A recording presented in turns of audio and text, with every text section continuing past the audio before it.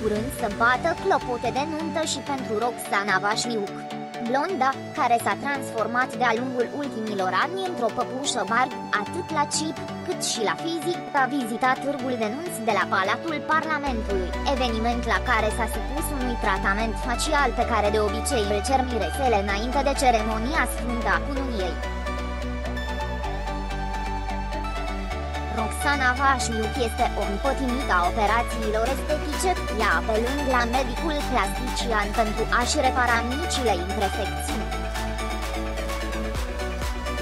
În paralel însă cu intervențiile chirurgicale, blonda recurge adesea și la tratamente minim-invazive care o scot din încurcătură atunci când trebuie să fie gazda unor evenimente.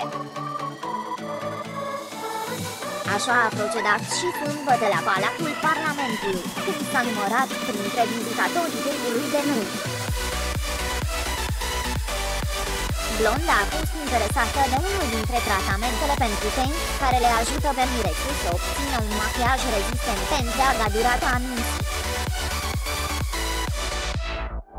Tratamentul este recomandat înainte de ziua nunții. Ofertă pielii luminozitate, fermitate și hidratare. Strugii și petele pigmentare dispar, iar pielea este pregătită pentru un machiaj perfect. Tratamentul conține seruri microincapsulate care sunt compatibile cu modulele de mezoterapie fără, deci fără urme și fără durere, a explicat în cadrul târgului Miruna Vasile, managerul unui salon de înfrumusețare. Tratamentul netezește și imperfecțiunile cauzare de decolorarea pielii în urma acneei și a procesului de îmbătrânire.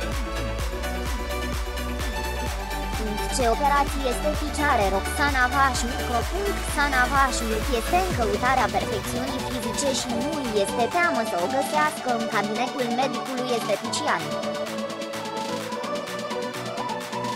Fosta prezentatoare TV s-a operat în urmă cu doar câteva luni pentru a obține un posterior de braziliancă și a optat pentru implanturi de silicon anatomice.